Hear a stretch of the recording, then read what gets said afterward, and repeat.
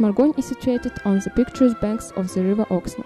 It's a town with a rich history and numerous legends. Smargony was first mentioned in the 16th century as a private small town of the Zenovich family, later the Radziwill family. According to one of the legends, the name of the town is derived from the word smar or smu, meaning resin. Resin production was a key occupation for most of the population inhabiting the territory of those days. The town became famous at the times of Karl Stanislav Radziwill due to the foundation of the Bear Academy in the 17th century. The bears were trained to dance at the academy. There were deep pits with brushwood not far from the center of the modern town. The cages with iron bottom were put on the brushwood. When the brushwood was burned, the bottom became hot and bears began to move. In the same time, the trains played the music. After several months of training, the bears began to dance once they heard the music. From spring to the middle of autumn, the trains took the bears to fairs in Western Europe to earn money. Then they came back to Smorgon. That's why there is a figure of a bear on the coat of arms of Smorgon. Today, the Smorgon attraction is a sculptural group that was created by the honorist art worker Vladimir Terебon.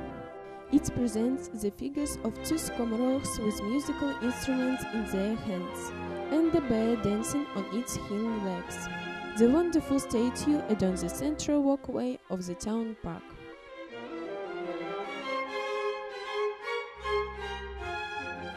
Secondly, you should visit Smorgon because it is called the homeland of Baranki.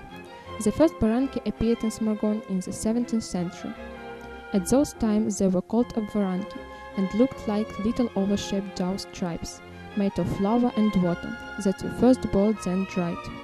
They were made as food for bears, not for people. When trainers set on a trip, they took their Varanki to feed animals, as it is very difficult to take care with them. Soon people also evaluated their trees. In the 19th century, Baranki became popular not only in Belarus but also abroad. Despite the fact that there were 60 Baranki bakers in Smorgon, in the 1930s the recipe has been lost. On the 16th of September this year, our citizens held a festival fair, Smargonskie Baranki, for the first time. It seems to be the beginning of a new tradition.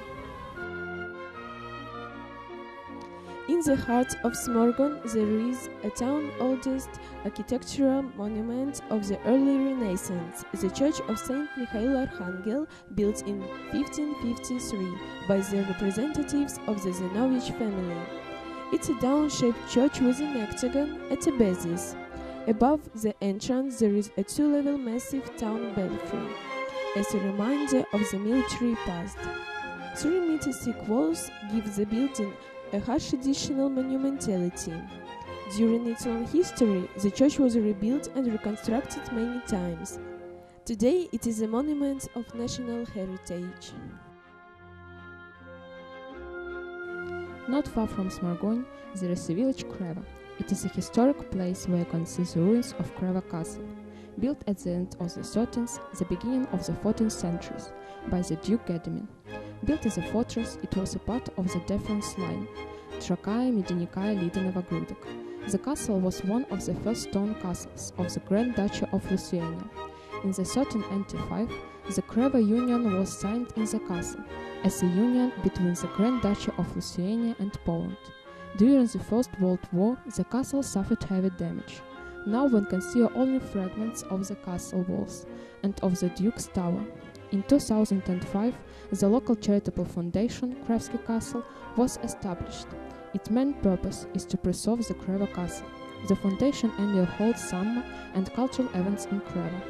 Today, the ruins of Kreva Castle are a symbolic place for all the descendants of the Grand Duchy of Lithuania. On the bank of the river Oksna, in the town Central Park, there is a huge monument to František Bogušević, a famous Belarusian poet, the founder of critical realism in Belarusian literature. The sculpture stands on small white grey granite pedestal. The total height of the monument is about three and a half meters. The poet is dressed in the national costume and holds a book in his hand. Not far from Smorgon, there is František Bogušević village of Kušljane, where he spent some years of his life.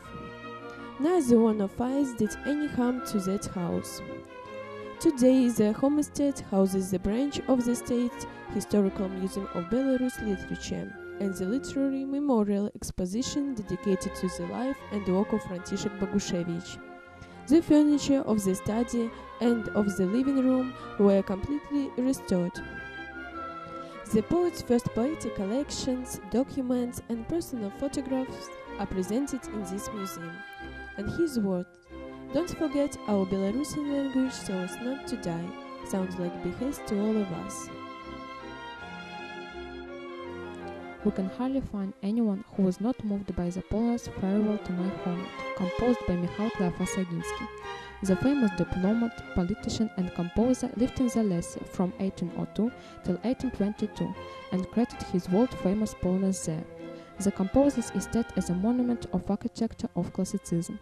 By 1815, a new palace with a greenhouse and a park in the English style were built. The palace was called Northern Athens because of its beauty. In 2014, the palace was reconstructed, and today lots of tourists visit the place. Every year, of Mikhail Kleofas Oginsky's birthday, anyone can come to Zalesie to enjoy his music played by the honored collective National Academic Concert Orchestra of Belarus, directed by Finberg. Every year, the museum also holds fancy dress balls for children and adults. Smargony is also known for the heroism of its citizens during the First World War. The line of military entrenchment from the First World War is spread next to the Smargony-Kreva road by the village Hadaki. The heroic 810-day-long defense of the town. From September 1915 to February 1918 added to the history thousands of examples of true heroism practically whipped Smorgon off the face of the earth. It is right here on Smorgon's land that in summer of 1916 the Germans had gas attacks which turned into a tough challenge for Russian soldiers. The remains of trenches, pillboxes and military cemeteries have survived as precious witnesses to those tragic events spread along the former Russian-German front. The legendary 1st Petrograd Women's Battalion, led by Maria Bochkareva, was fighting in the neighborhood of the Kreva and Novospask villages in the years of the First World War.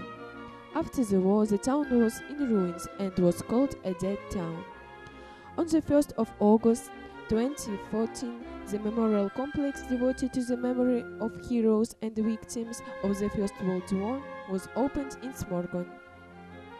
It consists of three sculptural groups the genius of soldiers' glory, soldiers, and refugees.